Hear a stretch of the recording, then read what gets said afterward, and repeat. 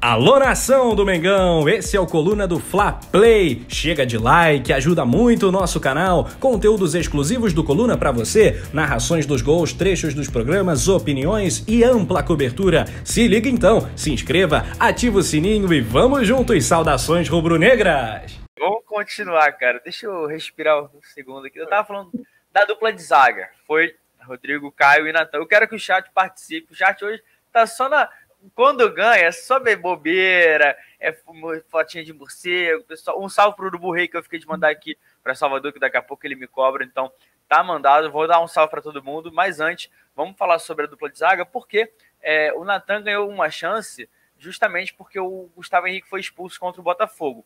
Agora ele entrou e foi bem.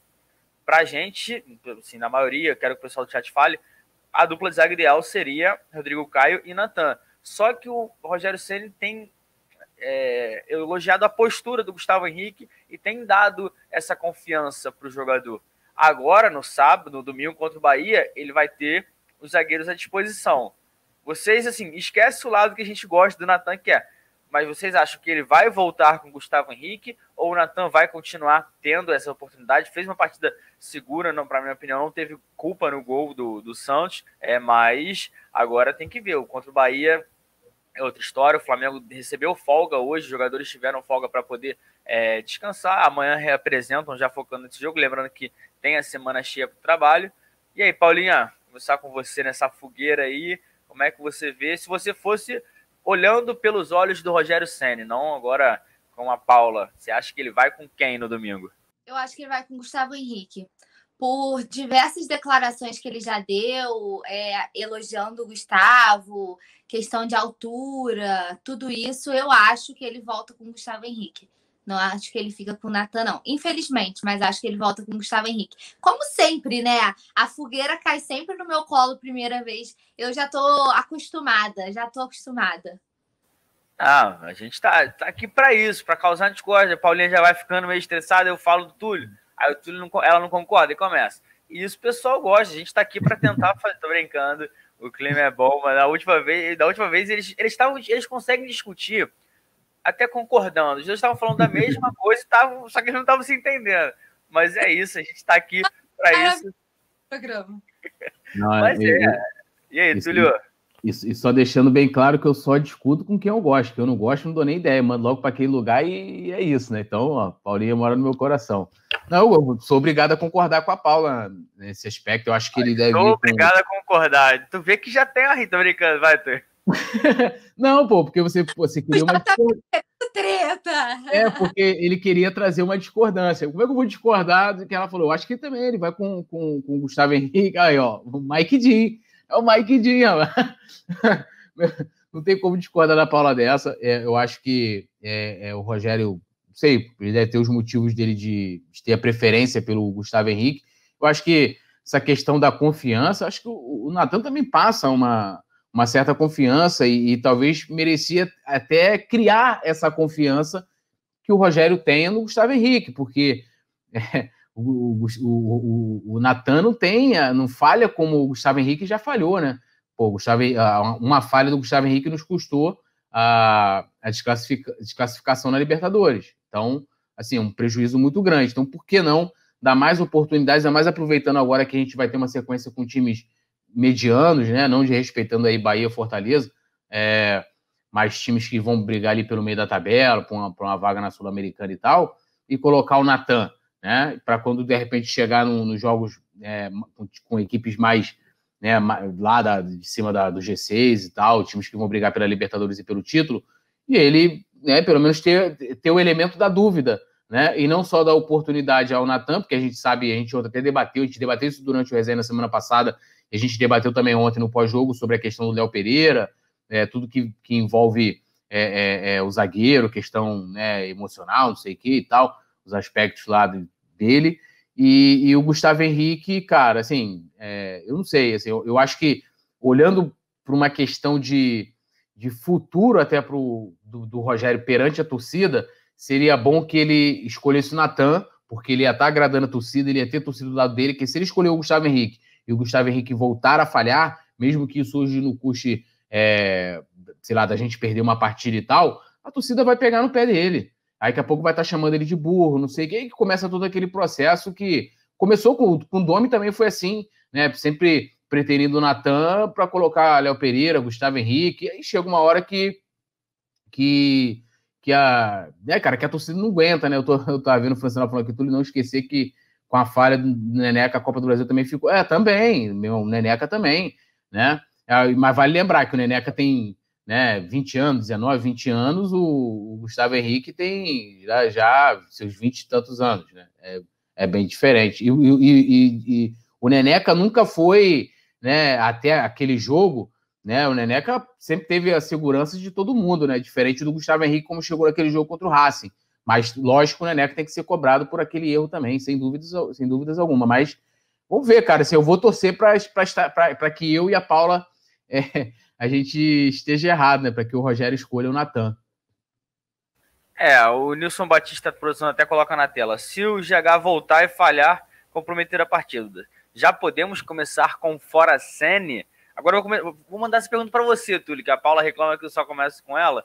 E aí, você acha? Aí, aí tem que jogar na, na conta do treinador, na minha opinião, né? Ah, sim. Não, eu acho que, assim, eu, por exemplo, eu defendia, não era o Domi propriamente, mas era a continuidade, né? Porque eu, eu, eu via naquele aspecto, e, e continuo vendo também, de que muitos problemas no departamento de futebol não tinham é, ligação direta com o treinador, mas é diferente quando ele faz uma escolha é, de um jogador ou insiste naquele jogador. Não tem como a gente dizer, por exemplo, na, na época do Zé Ricardo.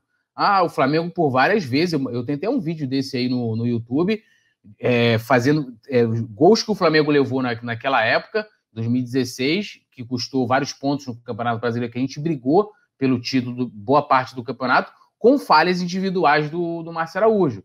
E aí era culpa de quem? Era culpa minha? Não, era culpa do cara que, que tinha uma fixação e tinha um coejar no banco, tinha uma fixação pelo cara. É a mesma coisa o Domi.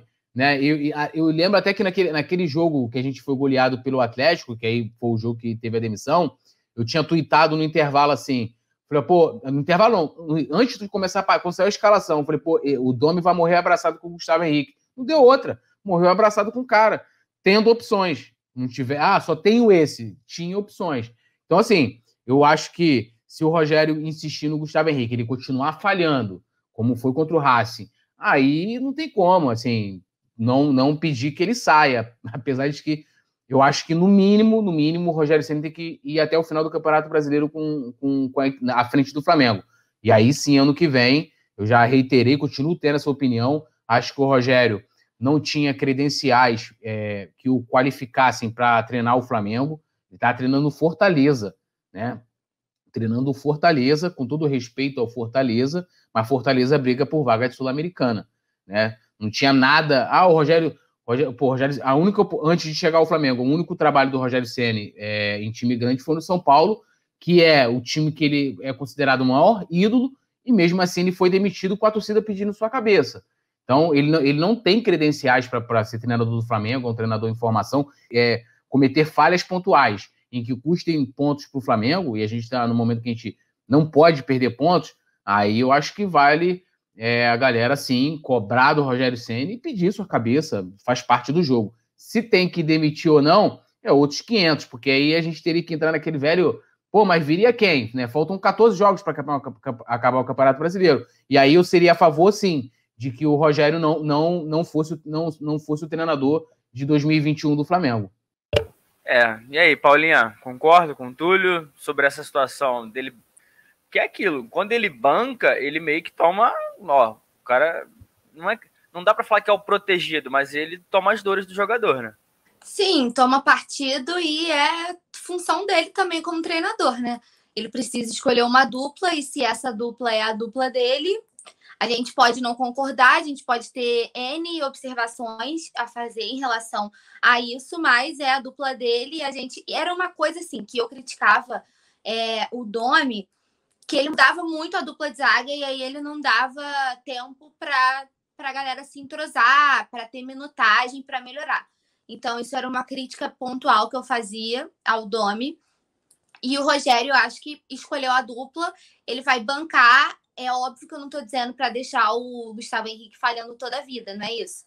Mas se é a dupla que ele escolheu, ele precisa de um tempinho para que eles se entrosem e as coisas comecem a dar certo. É, e aí você vê como que o Rodrigo Caio faz falta nessa zaga, né? Que foi só o Rodrigo Caio voltar, que os primeiros jogos, tirando que o jogo contra o Racing, que foi na expulsão do Rodrigo Caio que a gente tomou o gol, o Gustavo Henrique não estava tão mal. Né? Então o Rodrigo Caio passa essa segurança. Às vezes, é, com o tempo, o, o Gustavo Henrique vai encontrar o futebol dele, o futebol dele do Santos, que foi o futebol que trouxe ele para cá. Então, às vezes, ele precisa de uma presença mais contundente do lado dele, que é essa segurança que o Rodrigo Caio traz para a zaga, né? Foi só ele voltar que as coisas melhoraram, né? Apesar de a gente ter tomado gol ontem, é outra postura, é outra, é outro sistema defensivo, assim, não tem como comparar.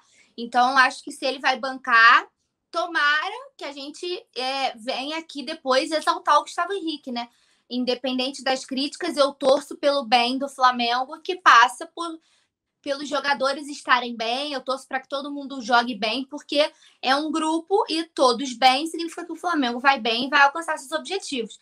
Então eu espero nos próximos resenhas, e isso se confirmando, o Gustavo Henrique assumindo realmente essa, essa titularidade, que a gente vem aqui elogiar, porque na hora de criticar, a gente está aqui para criticar, e a gente também não deixa de elogiar quando é justo. Então, que eu possa vir aqui e, e elogiar o Gustavo Henrique das vezes como eu também é, estive aqui para, para criticar ele sem passar pano para jogador nenhum.